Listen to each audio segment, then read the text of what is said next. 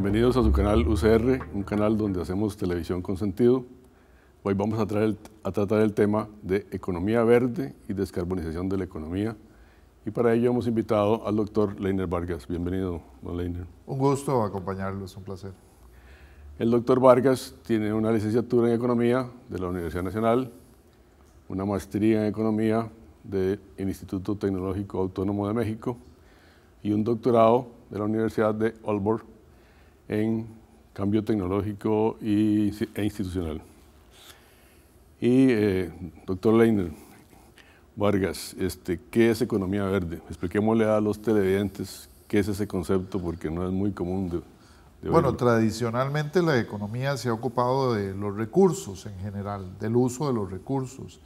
Eh, en los años 60 se popularizó eh, particularmente el tema de eh, los recursos agotables y entonces empezamos a hablar de un área, de un, de un quehacer de la economía preocupado por los recursos naturales. En, en algún momento se llamó economía de los recursos naturales, muy asociado con la ciencia o el área agrícola, ¿verdad?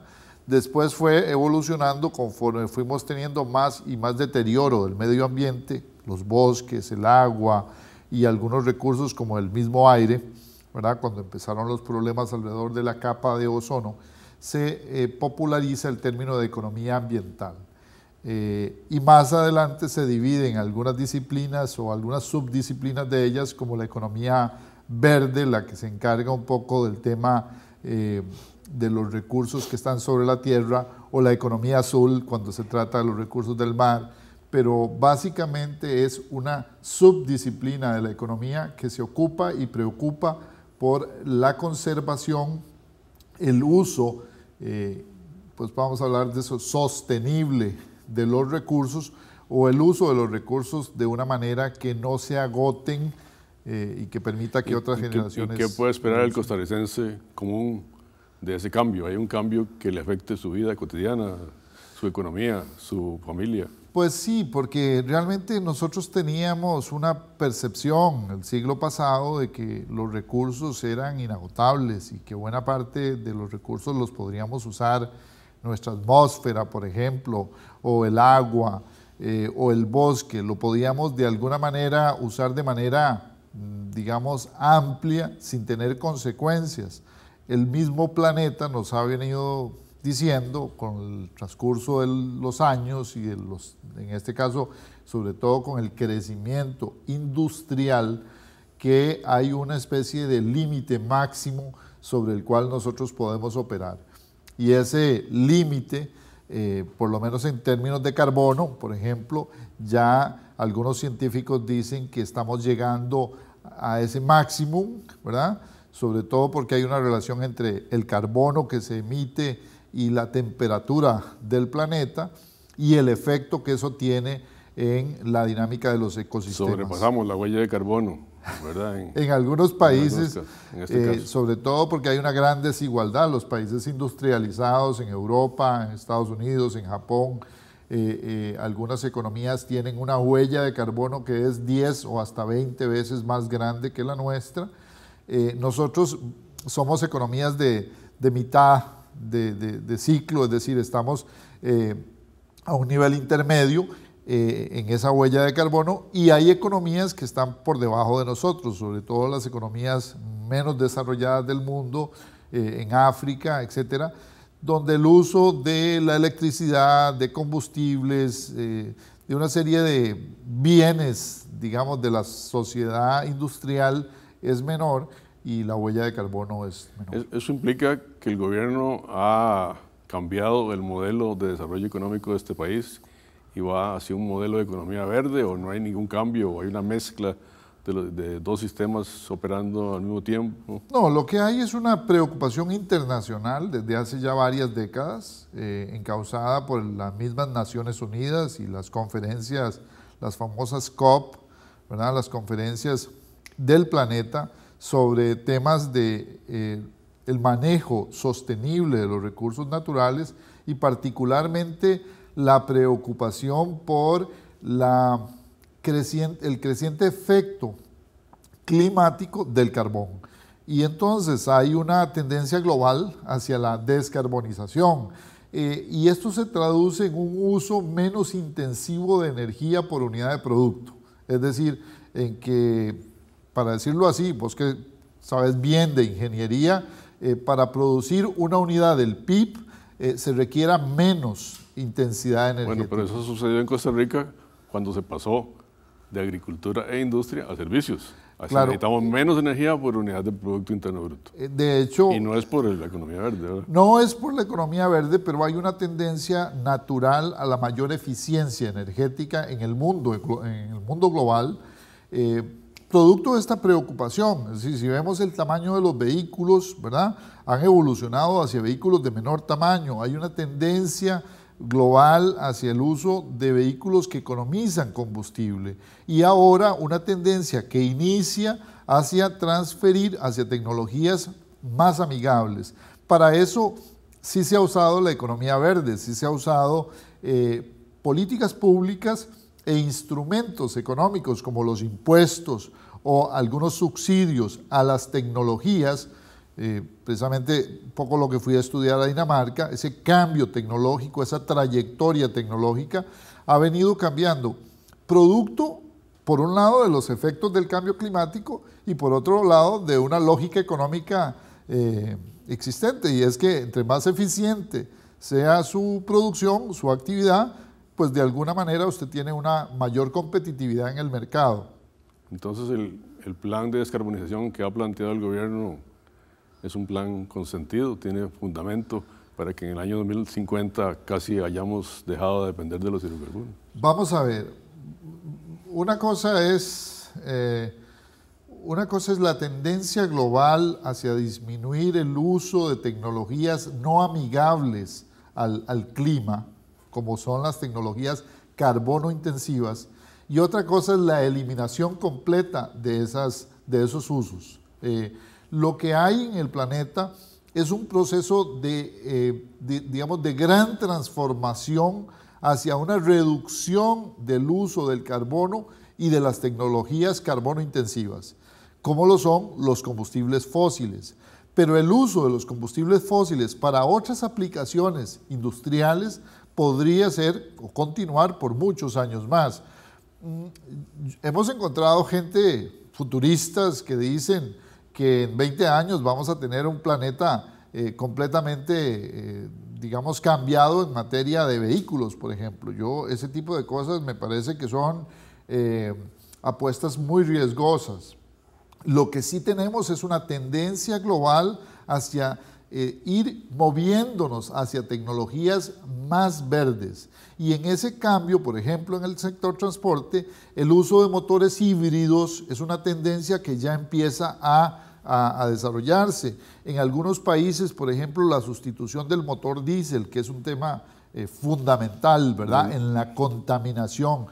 No tanto por el efecto carbono, sino por el efecto, digamos, adicional de los, de los contaminantes del diésel. Vamos a hacer un corte ahora y volvemos con el mismo tema.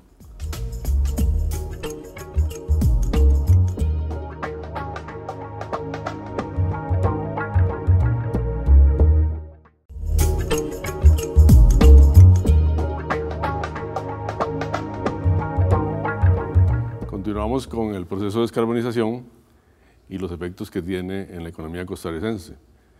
El doctor Vargas este, ha escrito una serie de artículos, una serie de libros, es columnista de la República y estaba leyendo un informe sobre vehículos eléctricos en servicio público y también sobre aspectos, otra, otro libro que tiene usted desde mi ventana, algo así, este, sobre eh, el efecto de la regulación Así es. En, la economía. Sí, es posible, es posible ir modificando la cultura tecnológica, moviendo algunos incentivos. Es posible ir, por ejemplo, en el sector del transporte público, creando condiciones para que los autobuses sean más eficientes y usen una, o tengan una huella de carbono menor. Eh, igual los taxis e inclusive es, viable, como se ha hecho en otras realidades, eh, organizar el transporte público para que sea eléctrico y para que tenga digamos, mayor complementariedad y sobre todo tengamos menos, más sentido común a la hora de usar nuestro sistema de transporte público. La huella de carbono de nuestro sistema de transporte, por lo menos en Costa Rica, es amplia, es muy amplia por el desorden, la desorganización del sistema de transporte. Nosotros nos gastamos horas en las presas quemando combustibles fósiles, eh, hasta con autos inteligentes y con autos eficientes, pero a una velocidad y a un ritmo que el, efecto que generamos en el, eh, planeta por esta emisión es muy alta. Eso lo analizábamos desde los años 80, diciendo que eh, la, la, acción de detenerse y arrancar es la que más consume combustibles en los vehículos. No cuando usted va a velocidad normal en una carretera, sino cuando se detiene, inicia, se detiene, inicia. Y entonces, desde los años 80 hablábamos de eso. Por ejemplo, en el transporte público, el tener los autobuses en un carril exclusivo, ojo, con infraestructura pública que permita eso, podría reducir hasta tres veces la huella de carbono eh, por pasajero por autobús. Nosotros en el estudio que hicimos para Naciones Unidas damos las pruebas, los datos, ¿verdad? De cuánto es el, efecto eso en la, en la huella de carbono. O por ejemplo, eh, creando instrumentos, por ejemplo, para que las paradas de taxi de la ciudad sean carbono neutral, que significa que solo taxis eh, con tecnología eficiente puedan pararse, digamos, en el parque central o en los hospitales, eh, podríamos reducir sustantivamente la huella de carbono porque estas son las paradas donde más se concentra y donde la contaminación tiene más efectos colaterales, como efectos en la salud, etc pero de ahí a descarbonizar toda la economía hay un gran trayecto porque hay un segmento de la flota que es muy importante y es la flota de transporte de carga eh, y es donde menos eh, avance hemos tenido porque no hemos querido, por ejemplo, utilizar el gas, que es una tecnología en el mundo mucho más eficiente para el transporte de carga. Pero ahora queremos mejores carreteras, ampliar las carreteras, eso no incentiva la importación de vehículos de combustible, de gasolina o de diésel. La economía ambiental nos enseña y nos ha enseñado casos alrededor del mundo, hay estudios en Europa, en los Estados Unidos, Israel, que está muy avanzado en estos temas, eh, que muestran que ampliar eh, los puentes y los tamaños de las autopistas, eh, México es un caso claro también, eh, poner un segundo piso de una, de una rotonda, digamos, a la ciudad, lo único que hace es aumentar el número de vehículos y a muy corto plazo volvemos a tener el problema de congestionamiento vial, ya no en una, sino en dos autopistas. Entonces hay una contradicción, ¿cómo vamos a llegar a hacer carbono neutral o a descarbonizar la economía cuando ampliamos las carreteras para que entren más vehículos que consumen combustible? Bueno, en, primera instancia, el, tema eh, pasa por un cambio en la cultura del ser humano hacia la movilidad. Y ese es quizás el, efecto donde yo siento que el costarricense eh, no está en condiciones de hacerlo. En primera instancia porque no tenemos tecnología de transporte público de primera mano. Eh, en, la mayoría de los países que han logrado saltos realmente importantes hacia la reducción de la huella de carbono, es porque han creado ciudades sostenibles con organización del transporte público que le permite al ciudadano, primero, caminar por la ciudad, segundo, moverse rápidamente entre una ciudad y otra en sistemas de transporte público limpios, y tercero, utilizar su auto o el taxi o el servicio, digamos, eh, eh, para la última milla, es decir, utilizar la huella más cara ya en el suburbio, que es donde es más difícil reducir el efecto. ¿Quiere decir entonces que el proyecto del tren eléctrico es un proyecto importante para la ciudad de San José? Bueno, para, digamos, para el gran área metropolitana. Es un proyecto que yo creo que es tremendamente importante. Aunque no sea rentable. Eh, precisamente esta semana estoy discutiendo con uno de mis estudiantes que termina una tesis sobre este tema, que la rentabilidad social, que es no solo el efecto económico, sino el efecto de reducción de carbono ampliado a la disminución del tiempo de las personas. Es decir, el efecto de gastar menos tiempo en moverme, por ejemplo, de la Universidad de Heredia o de la Universidad de Alajuela o de la Universidad de Cartago, digamos. En, esa, este, es, una forma de salirse de la, de la, rentabilidad financiera negativa. Es, claro, es una propuesta eh, en donde se amplía, y en economía ambiental es muy común, eh, es clásico, un eh, modelo de costo-beneficio social. Socialmente es deseable. Ahora, cuando socialmente es deseable, se requiere intervención pública, porque el privado no lo va a hacer por sí mismo, va a requerir un apoyo de lo público, que tendrá que venir de los impuestos. Y la gran pregunta es, en el contexto que tenemos país, ahí la factura está un poquito, un poquito costosa. Y, vamos a tener un tren rápido de pasajeros sin tener, digamos, la coordinación de las líneas de autobuses que llegan a esas terminales, sin tener la forma en la que se van a mover las personas de su casa al tren y del tren al trabajo y van a volver a su casa. Entonces... Por eso la economía habla del cambio tecnológico e institucional.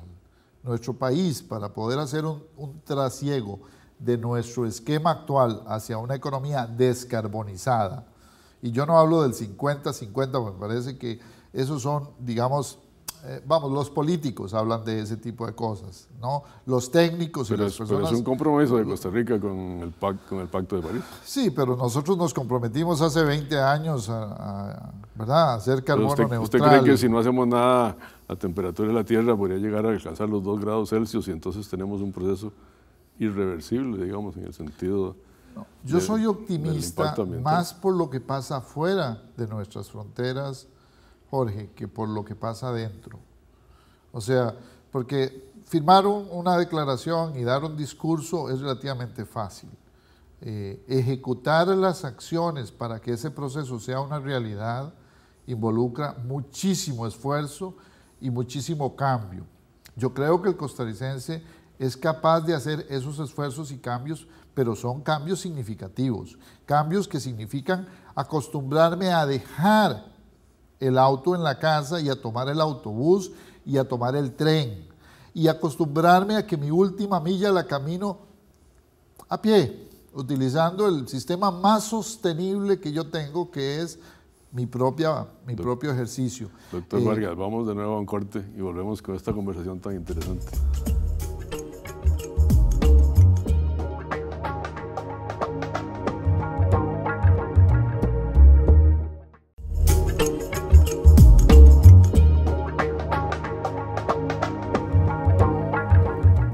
Nuevo con ese tema tan importante del cambio de los hábitos de consumo del costarricense, pero ahora en el marco de la economía costarricense. ¿Qué pasa en la economía costarricense?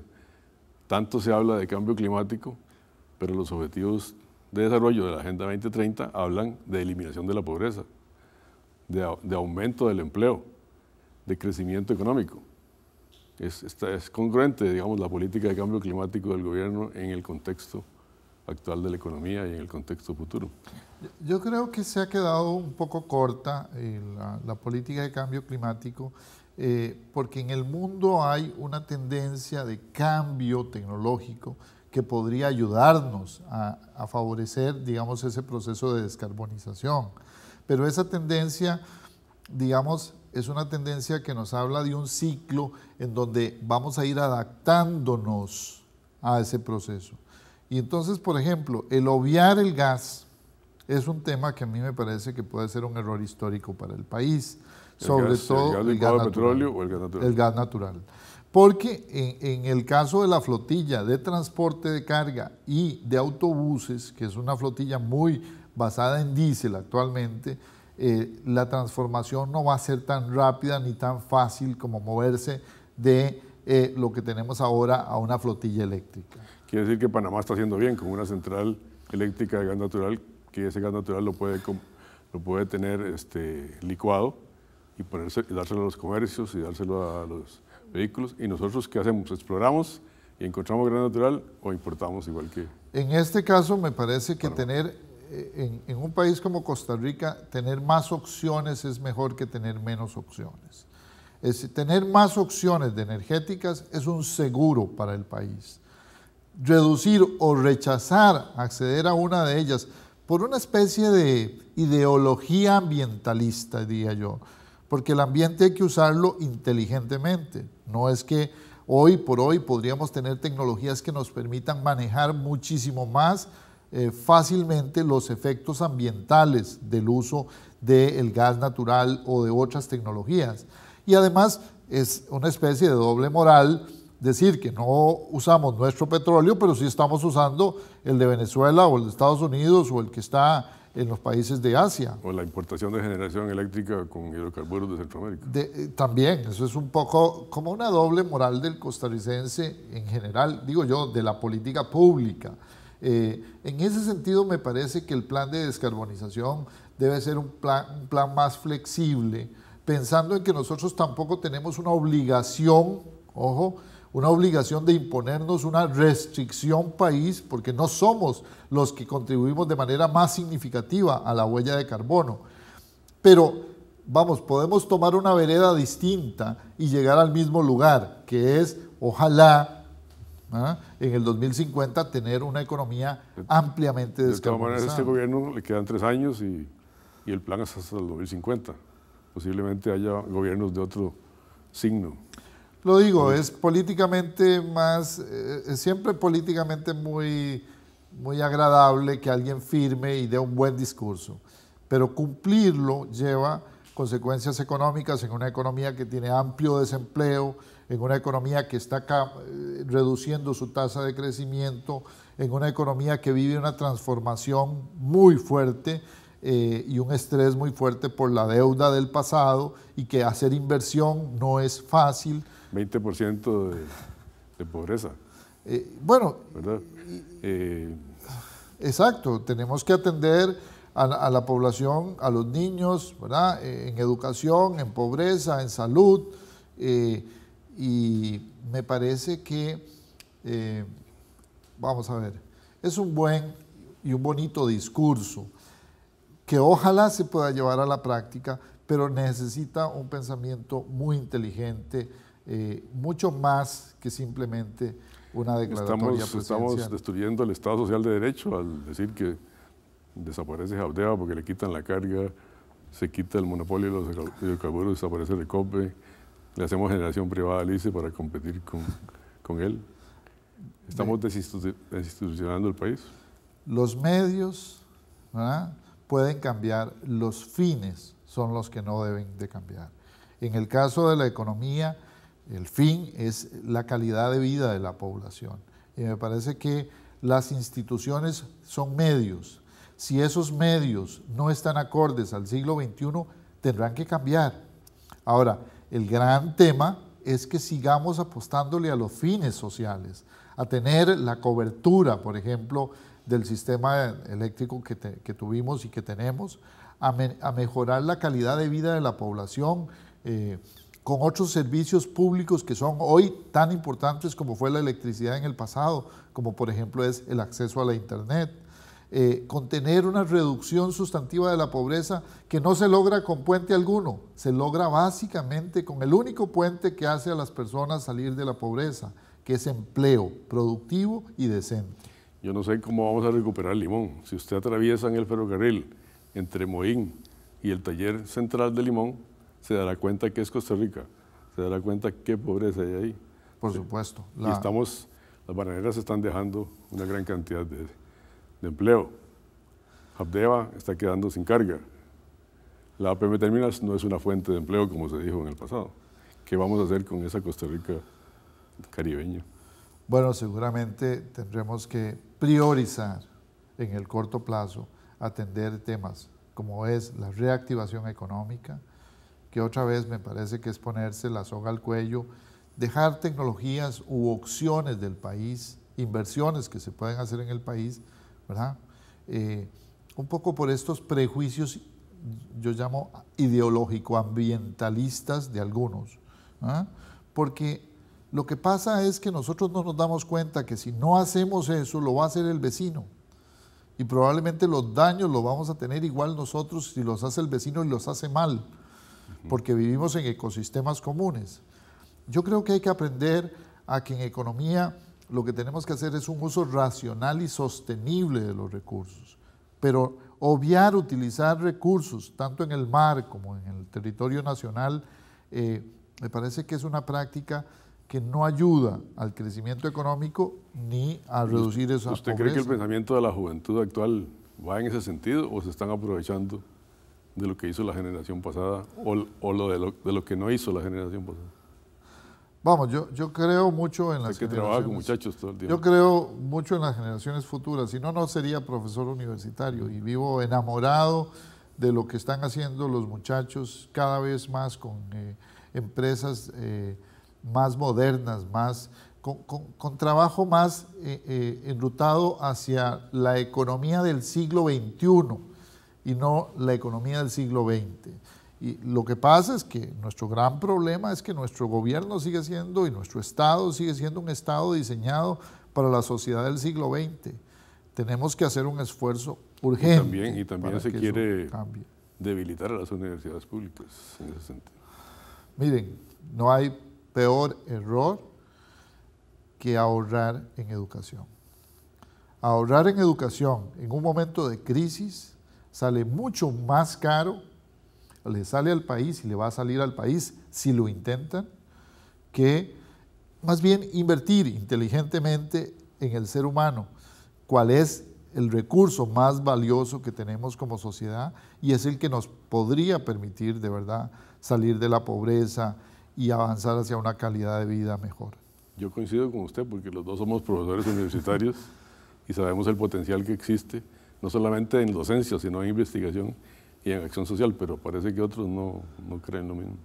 Yo creo que hay que hacer una comunicación más efectiva de lo que como universitarios hacemos y bueno, este es un, lo felicito porque este es un programa que ayuda a entender lo que hacemos en la universidad, pero también hay que ser un poco realistas, eh, ser más eh, comedidos en, las inversiones que hacemos eh, y avanzar hacia una mayor comunión entre lo que hacemos en las universidades públicas y lo que hacen las empresas y la sociedad costarricense. Bueno, doctor Vargas, un gusto haberlo tenido aquí en esta entrevista. Un placer.